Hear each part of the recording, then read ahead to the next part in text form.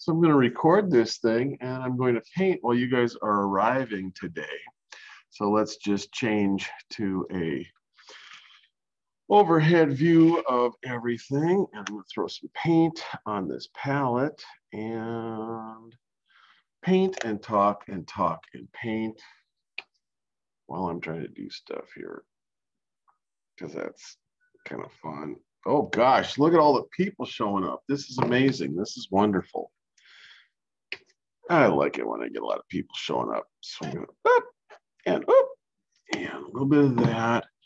What colors are in here? Violet. Better throw some violet down here on a puddle. All right, green. Yeah, better throw some green into a puddle. Okay, all right. So I got a couple colors here that I can work with. So you guys are showing up. We got Skylar, Amanda, Ezra. Yay, that's cool. So I thought I might just throw a little bit of this in here where you guys can see it and work on it while people are arriving today. So should have been doing this 10 minutes ago, but I was out building a kiln and then working on stuff for bronze casting. So let's blame the bronze casters for all of this. Um, when I'm looking at uh, this painting here, I'm trying to respond to some of the movement that is happening in the um, shadows around the face, the shadows in the hair and that kind of stuff. And so I'm going to try to um, get something like that going here in terms of this S curve going like that. And try to get a little bit more of a, a lower value color happening here. I thought I might try the green and then I might come back with the violet afterwards. I don't know. Call me crazy, but so I'm going to just bloop this, bloop this right here, bloop, and then bloop, something like that. I'm just trying, I'm trying to be inspired by the, the quality and the shape of the S curves that are in the original painting. And so I'm just trying to go and follow what the colors are doing. I've got a terrible brush for this, so that's fine. And there's a whole bunch of low value, shadowy kind of hair right next to the face over here. So I'm going to try to just, you know, do that. And I'm not doing it in a straight line. I'm trying to kind of like be somewhat um, influenced by the directionality and everything that he was doing there. And you know what? I still don't have these things going. So I'm going to greet you guys as you're coming in. It's two minutes after one o'clock and we're getting this thing started. And that's nice. Let's see. We got some hair that is continuing, continuing to trail out here. So I'm going to have to do something like that and something like that just to move some of those S curves out there and a little bit more of, I don't know what that was. And I don't know what that was, but something like that. All right. And then it is two minutes after, three minutes after. So while we're still waiting for maybe a couple more people, I'm going to come back in here with the violet and see what happens if I go violet over green because I've never done violet over green before. And I've changed brushes so that I'm kind of got my little line brush going on here. And just gonna see what happens when I pull some of these little, little kind of movementy lines, trying to follow some of the movement and I don't know, some of the poetry of what's going on here with all of this. So I'm kind of pulling down and then I'm going out. I'm going to pull down and then kind of flip it out and fling it out and just see what happens. I'm uh, not doing a great, super wonderful analysis of the color shapes, but I am trying to be kind of aware of what the original artist did in terms of the color shapes and trying to follow the feeling of some of those things. And before I come back to you guys, I just want to do something to reinforce the eyes a little bit because the eyes feel a little bit light to me. I just wanted to try to get a little bit more depth. Maybe try to get something of the iris portion of the eye happening. Just that much should do it.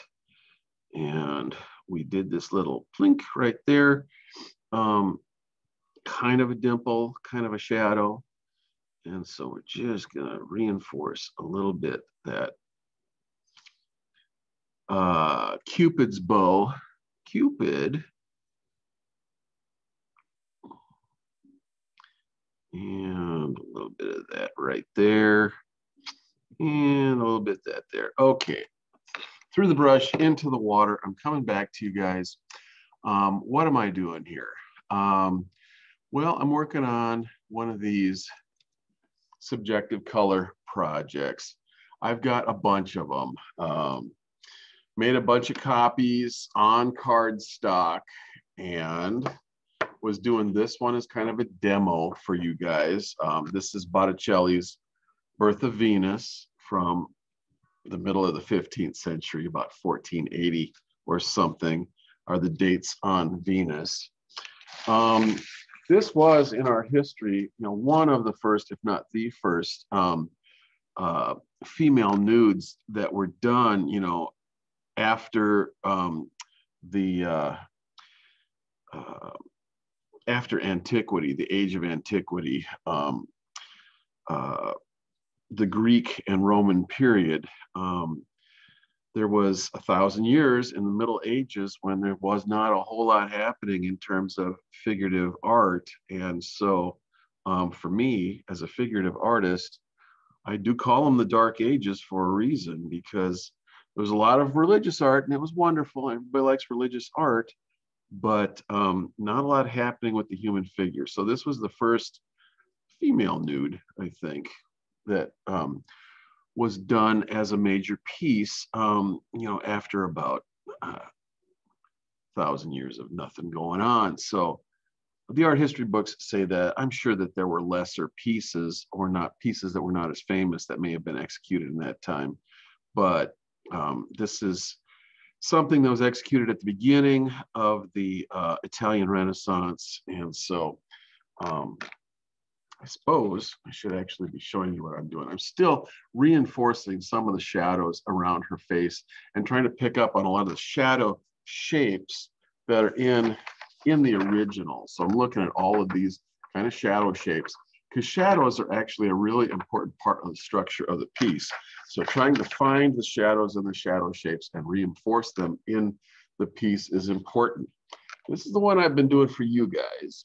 And this is the one that I was doing for the morning class. So you can kind of see the different color um, choices and different color structure for background, um, for flesh tones, for hair color, you know, creates a slightly different impact. It has a slightly different meaning. It brings slightly different content to the viewer, you know, when you make these color choices. And so subjective color teaches us that there's a great amount of power in making subjective color choices um, that are about your choices or what kinds of things that cool effects or whatever that you want to be able to achieve in the piece or the kind of content that you want to convey to the viewer.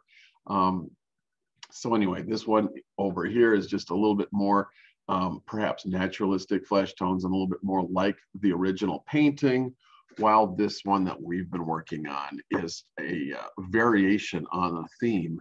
And so it's kind of interesting to play with different tones. And again, you know, I'm using violet in the background, green uh, for the flesh for the most part, um, some oranges in the hair, but I'm pulling the green and the violet into the hair for the shadows and some of the low lights uh, of the tresses and the, the flowing hair.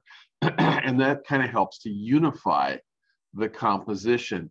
You don't want to just have um, one color shape or one color dominating one area of the composition and have it appear nowhere else in the composition.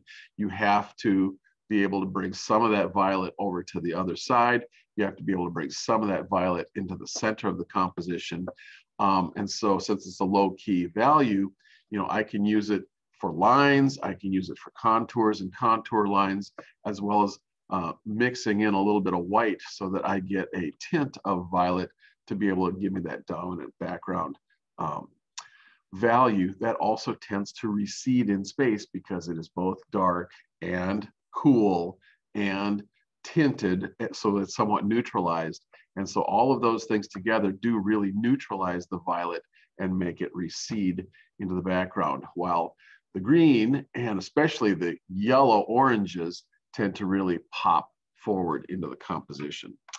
Um, we're in the second week of, well, we're beginning the first full week of this. I introduced this project on Wednesday of last week, and now I am here, and hopefully you guys have either had a chance to get started on it or at least be able to watch several of these videos and start to get into the headspace where you feel like you can take on one of these things and paint it. Um, well, one other thing I want to say is that as I paint this thing, um, it is really nice to paint for half an hour and then get away from it, come back for half an hour or an hour and then get away from it for half a day. Because when you come back with fresh eyes, sometimes you can see the problems that you're having with edges or shapes or something. And with paint, you can paint over a problem and you can move an edge. You can improve um, a uh, an area of the composition that is relatively weak. And let's just try that one more time before I take attendance because I'm so crazy and I'm a nut and I do this kind of stuff. So I'm gonna get a little bit of this brush cleaned off of here trying to make a little bit of a tint of green so that I've got a light green. I think you guys can see me working on that on here. And there, now right here, this piece of green is out of place and it's like it's a brush stroke that isn't helping me out. And some might say, yes, that's kind of underneath this cheekbone right here in the hollow of the cheek. But when I look at the original over here, she really doesn't need any help with creating any kind of a hollow underneath that cheek. So to make it look a little bit more like the original, I think I'm going to try to maybe paint that out somehow. But I might have to have a little bit more white on my brush to be able to do that. So I'm going to just kind of paint that out and blend that in and come up against there a little bit more with some of this. So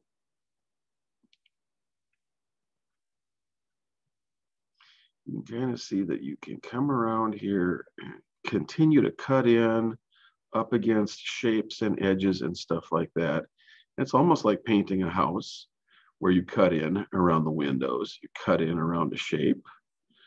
And then if you've gone too far, you can always kind of come back and fix it later by mopping a little bit more of the color around and in there. Let's see. I don't like this part right here, so I'm going to cut in right up against that and get that to go away. All right. All right, time to take attendance and see how you guys are doing. So by doing a little bit of that, I took some of the jaggedness and some of the intrusions out of the uh, portrait. And what I'm trying to restore here is this absolutely beautiful oval shape that almost is featureless because um, Botticelli is painting her as Venus, the goddess of love, being born out of the ocean. That's the way that the myth reads. And so um, even though she's you know totally beautiful and all of that kind of stuff, she is brand new and fresh and innocent and pure. And so he's trying to get that purity of spirit by having an almost featureless face that doesn't have any lines, no cares, no worries, no nothing. You know, she is just totally calm and poised and beautiful and whatnot, blowing in by the gentle breezes onto the shore. And so I wanted to go back in there, any place where it looked like that there was a, a an edge or uh, a worry line or something like that. I wanted to try to relieve that, to try to get this this curve, this this um, outside oval contour to be just as lovely as possible. And since I've got some stuff on my brush, I can kind of come in here and fix a few other things too as long as I want to cut in around there. And everything I'm doing is to try to get that, that, that roundness of form, that oval happening without any you know, cheekbones or anything else kind of jutting out or sticking out, interrupting that very, very smooth contour. In this particular case, the contour that you're looking for. Um, as long as I've got a dirty brush, I'm just gonna do a little bit more of this just to increase a little bit of this stuff before I lay down my brush and come in and talk to you guys about this stuff. All right, just a little bit of this and this and this. And to get a little bit more of these S-shaped, S-stroke kind of um, uh, tresses, uh, low lights in the hair um, to kind of give a little bit more depth and balance to the um, what's going on because the highlights really just kind of take over and they just do wonderful things.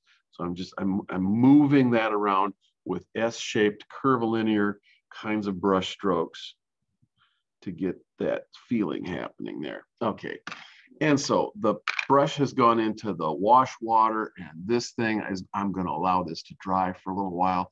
That's the concept, a um, subjective color composition, uh, recapitulating um, the idea of an original masterpiece and kind of playing off the idea of subjective color that somebody like Andy Warhol might have uh, approached it with um, in his inimitable fashion back in the 1960s, 70s, or 80s. And so um, there you have it. All right, I'm looking at you guys. I got the participants list up there and I'm gonna take attendance. And then I would love to entertain any discussion that you might have about this. So questions, comments, concerns. If you've tried something and you feel like you've totally botched it already, let's talk about that as we uh, get together and talk with our time together here. Ezra is here, so I'm gonna take attendance real quick. Gabby is there. Um, Mary is here. Let me just say in my defense that um, I realized that I haven't looked at uh, grading since about midterm. And so I jumped in, and I did a bunch of grading for the morning class this morning, and then I got sidetracked with build, rebuilding a kiln this afternoon. So I will get your grading caught up. Uh, you got a, you've got stuff going all the way back to simultaneous contrast that I haven't graded yet. Um, so I'll get the grading caught up for you guys. And then your job this week is going to be to do this, this painting right here. Some people have done multiple paintings. Gabby, Mary, Skylar is here. And Amanda is there. Amanda amanda is here. Skylar, Gabby, Mary, Amanda. That's it. That's all we got. Okay. So, welcome to you. I'm recording this for posterity so that those who aren't here today can try to follow along on what we're doing in these subjective color paintings. I also wanted to say that um, if you guys have any questions, please go ahead and unmute your mic and I'll be able to see it and call on you um, and we can kind of launch into any kind of discussion you might want to have. But when I was talking about being able to frame a painting and turn one of these design projects, one of these lowly design projects into a nice work of art, well, that's definitely something that can happen with this um, interpretation too. Again, another homage, perhaps this time an homage to Botticelli, you know, as this was an homage to Cezanne. And you know, for $10 frame over at Walmart, um, you can't do any better for something that would be a really welcome decorative piece for your wall, um, anywhere in your apartment or home or flat or whatever. So having said all that and given you guys all kinds of time to ask me questions, does anybody have any question or comment about this project? If you have any questions about my project, I can redo the bird's eye view and we can um, dive into um, some of the details of this thing too. Hey, Skylar, look at that. What's up? Um, so I don't necessarily have a question. Um, I started this um, like kind of over the weekend and I've been working on it slowly. Um, and I just, I kind of wanted to get your opinion on it just to see Oh, what I could possibly fix or do better. All right, I better click on the screen share so multiple participants can share. I know what's coming. I'm afraid you were the one who was talking about doing a screen uh, grab. Okay, let's see it. How bad could it be, really? A screen grab of me, huh? No, hopefully. No. hopefully, it's one of the other projects instead. That would be good. Here it comes. Hey, there it is. All right. Oh my gosh. Okay. Well, isn't this interesting? I'm going to have to uh, get rid of some of this stuff. Okay. So the background color is um, a tint of green, perhaps with a tiny little blue um, in the background. It's, it's very neutral. And so it tends to recede into the background quite nicely. The, the red-orange hair tends to advance towards the viewer and it's a neutralized hair. There's lots of neutrals in there, neutralizing with white and then some of those brush strokes um, are working real good. Because um, with hair, you're going to have highlights. So you're going to use, you know, white, you know, or a higher key value color as the highlights. And then low lights, you're going to use the violet or black or some kind of lower key value for low lights in the hair. And that's what hair does. And that's why hair is so interesting to do and complex to do is because it's got highlights, medium tones, which is the actual color of the hair, and low lights, which are the shadows between the hair and on the underside of the tresses of the hair. You've got the little uh, binding cords that um, kind of go around some of her hair um, uh, uh, stuff, she's got a hell of a lot of hair, doesn't she? I mean, look at all of that hair. It's like it's like a big sheaf of wheat over on the right side of her neck, and then there's a chunk of hair that she's got another um, ponytail holder around on the left side too. You picked up on that. I didn't see that, but it, it's not clearly it's not clear in my version. Um, so and now you're you're using some really fine lines drawing in some of the contour lines um, around the eyes nose and mouth which is kind of nice. Um, i want you to kind of be careful with contour lines too because contour lines can make really strong edges for shapes. And sometimes you know with your painterliness it's try it's really hard it's a challenge to figure out what shapes need to have um, sharply defined edges and what shapes need to have um, softly defined edges. So I love the, um, the shadow over on the left side of the forehead going into the left eye socket. And now I'm seeing it um, above the right eye too in the, in the right eye socket. Those shadows that were done with a spray can um, um, and so they have a really soft diffused edge to them. I really like those. And that's going to be the tough part. You know the lips are probably they have a really sharply defined edge and they they might need to get a little softened up somewhere to break up that edge just a little bit somewhere on the lips. Um, and that's the that's the thing that painters do. They can play with those edges and with a brush and just deftly either give us a sharply defined edge or um, mash it around a little bit with the brush and give, give us an edge that's much more softly defined. Um, and we might have to see both of those kinds of edges um, on something like the lips, because right now the lips have a um, one kind of definition all the way around the edge. It's a sharply defined shape and edge that stands in contrast to the flesh around it. And so at in some areas, at some points, you might have to just soften that edge a little bit if possible. I like what you did with the corners of the mouth because those things go soft. And so that the use of that tool in those little um, areas where the lips end and the smile kind of goes into the cheek area and it just diffuses there in, in blue, that's nice. I like that. Okay. So yeah, the, the philtrum uh, is the area between, you know, the top of the lip, the top of the Cupid's bow. And here we are playing with Cupid and Venus. Uh, I think Cupid wound up being Venus's son. Um, So, um, so Cupid's bow on on Venus's own lip, right there. There you go. Um, I'm sorry, I'm digressing. I'm going into art history. This is kind of hard. Um, but yeah, these these softer um, shadows that are uh, on the left side of the face that are you know uh, trying to you know define the cheekbone and then the hollow underneath the cheekbone and all of that. You're you're working really hard to do very subtle things and the subtle things are working. The more subtle it is you know the better. And uh, when things get uh, more sharply defined you know we we get into a little bit more um, uh, I don't know. It's not, it's not bad. It's just it calls attention to itself. That's that's the problem with details like that. Sharply defined, high contrasty edges uh, definitely call a lot more attention to themselves than so, more softly defined edges. Uh, I like this. This is a great thing. Now, I would consider this like a start and like you're about halfway into the painting now. How do you feel about this? How, I suppose you've got eight hours into this. You're probably done with this painting by now. Do you want to talk to us about how much time you've spent on this?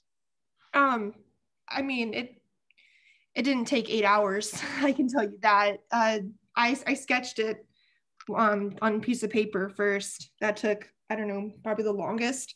And then I just scanned it onto the my um, the Fresco app. And all of this took maybe, I don't know, hour, hour and a half, but um, I'm, I'm not done. I, I know that. I just wanted to get your like critiques just oh. so that way I know where to go from here. Well, and actually, the, the subtle stuff that you were doing, now I'm seeing it in the left side of the neck down here. Um, and, you know in the throat and everything. And i see all of the subtleties that you're working with. So you've got some of the oranges and some of the blues that you're playing with and you're trying you're layering them you're doing all kinds of fun stuff. So i see all the work you're putting into this. Um, poor you? This looks like a lot of work. No this this is what i enjoy. This is what i do all the time. And and i know i'm not done. I all of these harsher angles like the lips and the eyebrows and the bags under the eyes like I, I i know that i wasn't necessarily done. I just i i map out i guess where i'm wanting more. I don't know. I don't know how to put it. No no no that's okay. Yes that's exactly what we do. We block it out we rough it out as a drawing um, even in a painting and then we go back and we address those those lines, those edges and stuff, and we kind of like smash them down or smoosh them up or, you know, and, and try to make them dissolve. and sometimes it's okay to have a sharply defined edge, but along the length of a line, it's kind of nice to have that line change character. So the line can um, soften and even dissolve completely and then pick up again in strength a little bit further on down the line. As long as the line doesn't have the same character for the entire length of the line, you know that's that's the the tell that's the giveaway that it's a it's a line and it isn't kind of completely integrated into the piece. Because and that took me forever to figure out. When i was a kid you know drawing and painting and everything i never and maybe i didn't have good uh, instruction either but to, to have somebody some authority figure some teacher tell me that i could actually let the line go maybe because we didn't have frozen back then and i didn't know about the song let it go. But you know sometimes you just got to let the let it go and um, let that line dissolve into other things. You're kind of aware that it's there but it doesn't have to be you know the same line through the whole thing. And so your lines are things that you stuck in there early and they're part of your sketch and, and they will probably get um, mashed up and pushed around and softened up as time goes on. That's what happens with paintings. Um, I don't know how to run a painting program. So I'm not, I don't know how many like layers you're working with or how many states you're working with and how many steps back and forward you can go with this. Because I know you can go back and forth a lot of steps. Oh, you just open them all up. So there they all are. Oh my God. so you got a lot of tools here. And sometimes tools are great. Um, and sometimes it just makes things more um, confusing because when you have a thousand choices it's hard to know what to do and what to try um, mm-hmm. um, painters sometimes just uh, plod blindly forward and just make it up as we go because we don't really know what we can do, and the only thing we can do is go forward. So if we don't like something, we paint over it.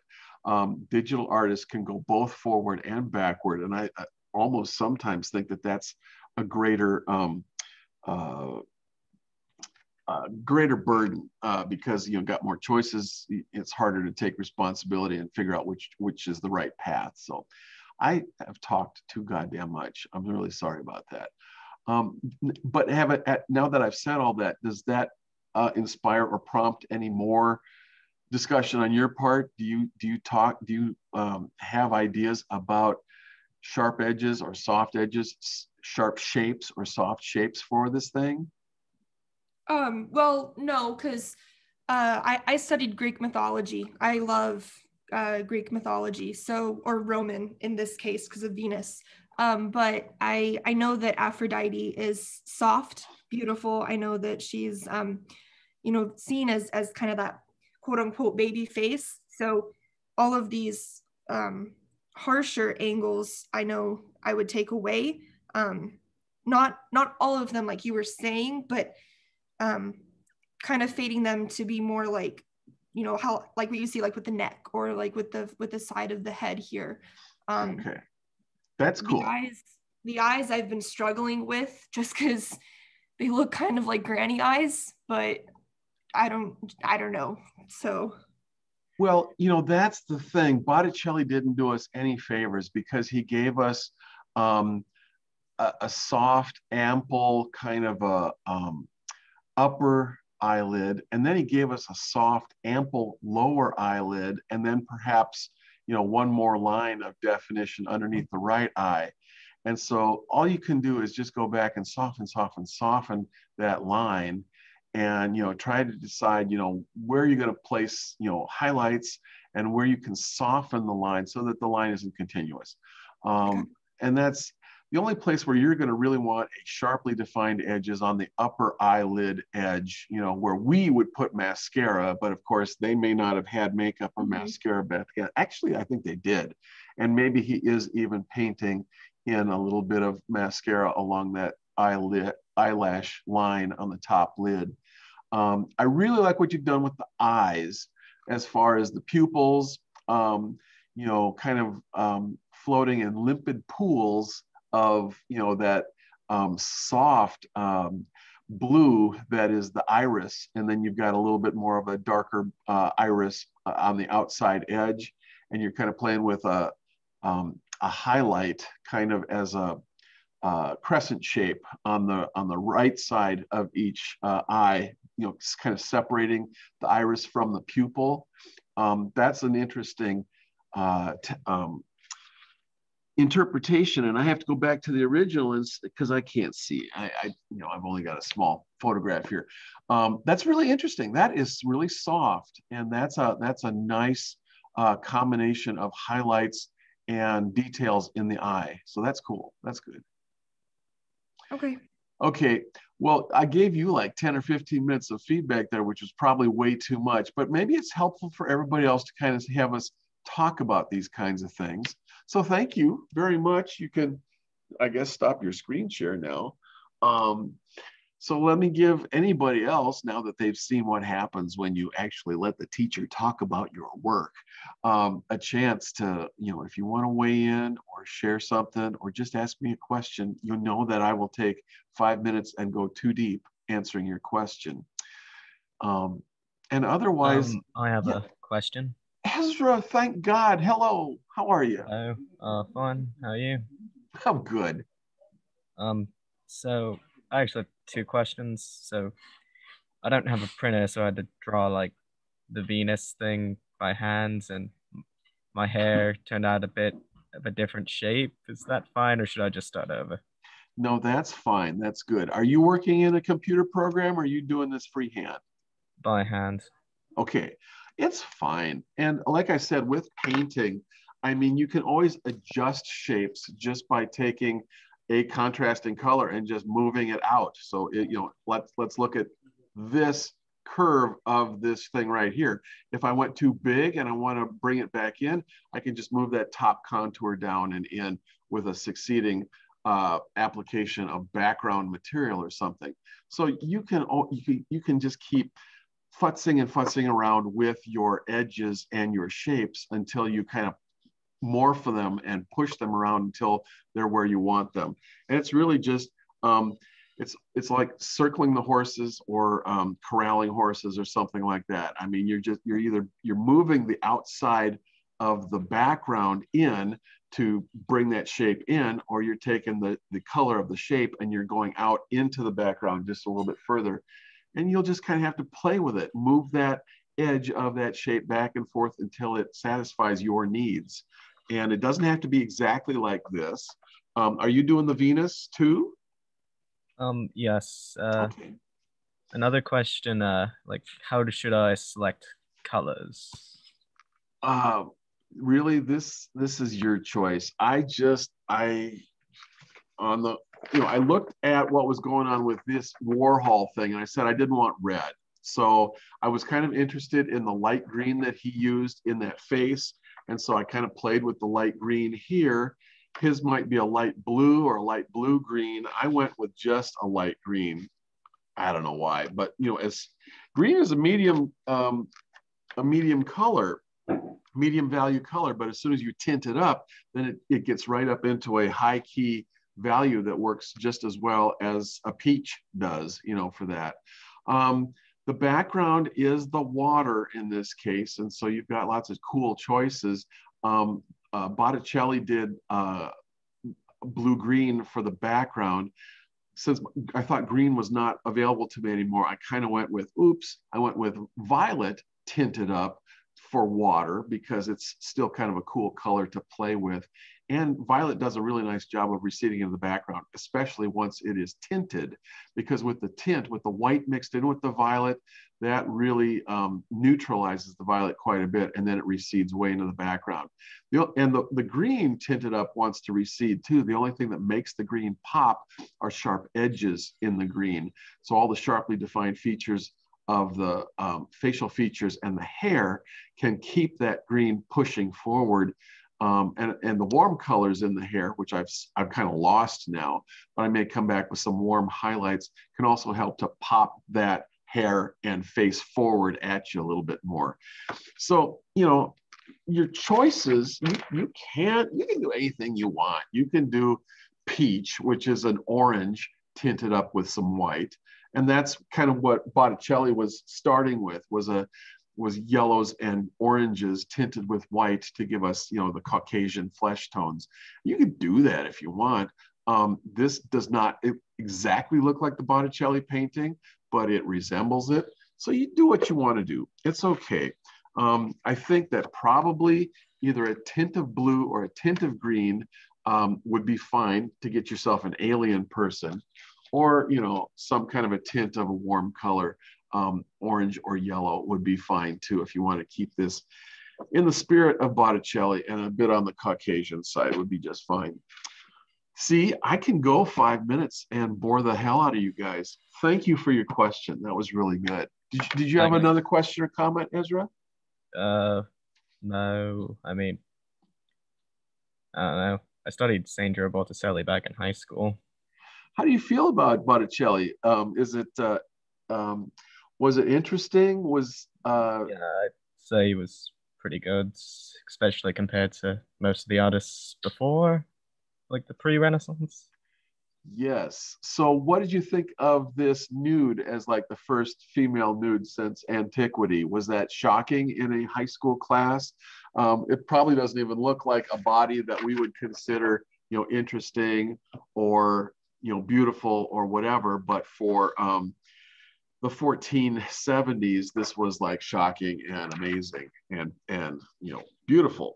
Um, they had a different they had different standards than we do. Ankles and elbows, you know. Yeah. Well, cool. All right. So thank you, uh, guys. I'm not going to uh, waste your time or anything. I wanted to do a check in today and try to jumpstart your creativity on playing with this stuff.